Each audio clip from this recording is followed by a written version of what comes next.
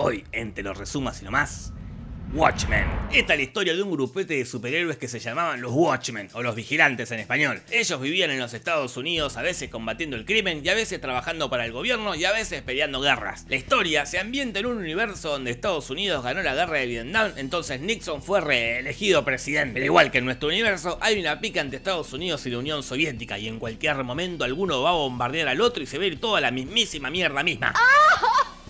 Y para colmo a estos superhéroes se le empezó a ir un poquito la mano con el tema de ser superhéroes y abusaron de su poder. What happened to the American dream?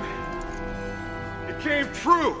Pedazo de psicópata. Además, como Nixon ya los usó para ganar la guerra y la re reelección, los prohibió y les dijo: Eh, go fuck yourself, como corresponde. Entonces los superhéroes fueron prohibidos por el gobierno y se terminaron para siempre. Pero antes de seguir con esta historia, hay que hablar un poco de esta gente. Empiezo. El comediante, que si le ven cara conocida es porque vieron The Walking Dead, es Negan. Ah. Él es el más sorete de todos. Mataba a vietnamitas en la guerra, mataba a minas embarazadas y hasta mató al mismísimo Kennedy. El tipo era tan pero tan sorete que hasta quiso violar a una de sus compañeras. Un personaje que literalmente es la mismísima mierda. Rorschach, que tiene esa bonita máscara del test de Rorschach, pero sin la máscara tiene la cara del nuevo Freddy Krueger. Y si no vieron esa película, hicieron bien. Les dejo el resumen ahí arriba. Él está retraumado porque de chico tenía que ver cómo la madre se prostituía. Pero eso no es lo peor. No, lo peor es que no lo quería ni un poco.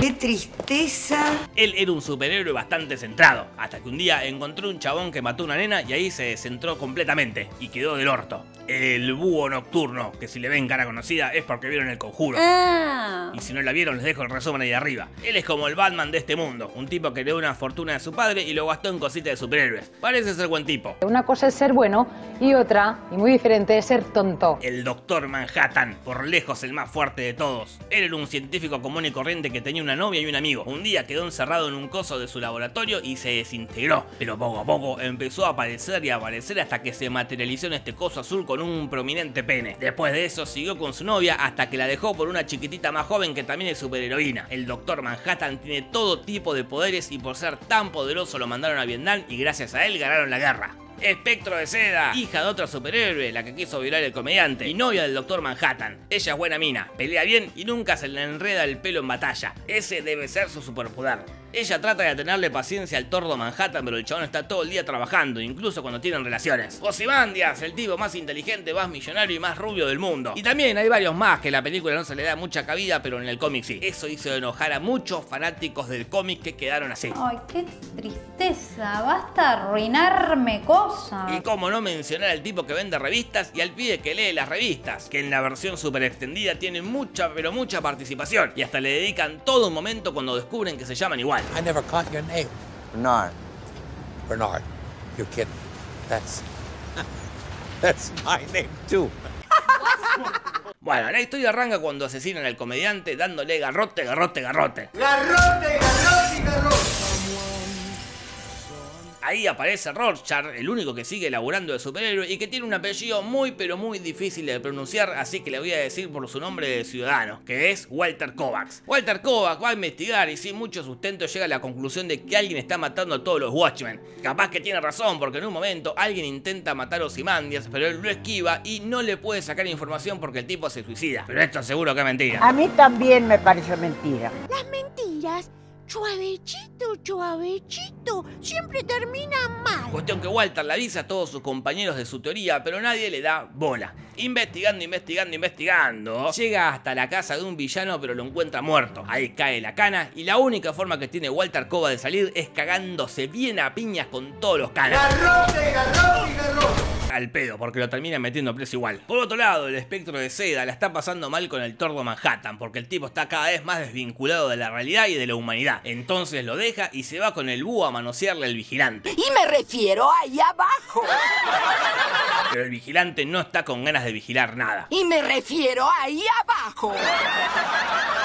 Para salir de esa situación incómoda se ponen sus viejos trajes de superhéroes y se van a salvar unos nenes de un incendio. Eso parece que los motiva y ahora sí van a poder tener relaciones tranquilos. Y después Zack nos deleita con su sutileza con esta bonita analogía de la eyaculación.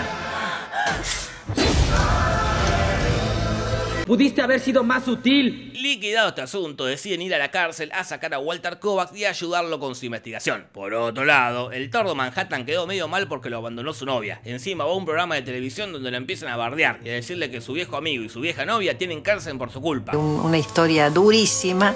Entonces, hinchado a las bolas de los seres humanos, se va a vivir a Marte y planea matar a todos, a todos los humanos. Pero como no es un tipo impulsivo, la secuestra a Spectre y le dice, necesito que me des algún motivo para no matar a todos los humanos. No sé, le dice ella, porque si matás a todos los humanos también matás a Franchella. Es verdad, le dice el tordo, pero necesito otro motivo. Y ahí le investiga el pasado de la mina y descubre que es hija del comediante. Así, el tordo Manhattan tiene todo un mambo místico con que de todos los espermatozoides justo llegó uno que hizo que naciera ella y qué sé yo qué mierda. Era más convincente lo de Franchella. De una u otra forma, el tordo decide no destruir a la humanidad. Conchale.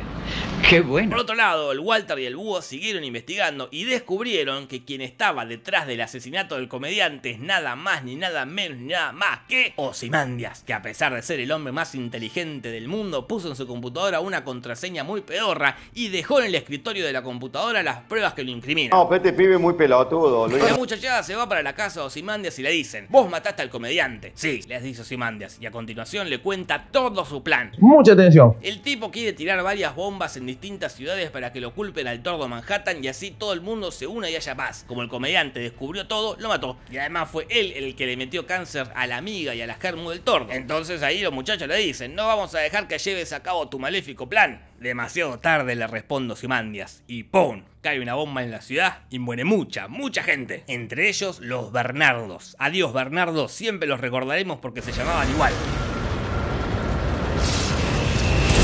De Ozymandias sale a la perfección. Estados Unidos y la Unión Soviética se unen para detener al tordo Manhattan y reina la paz y la armonía. El tordo acepta sanamente que el mundo crea que es un criminal y se va a otra parte del universo. El búho y el espectro también aceptan sanamente sostener la mentira. El único que no quiere mentir es Walterio, porque dice que mentir está mal. Cuestión que el tordo se ve obligado a matar a Walter.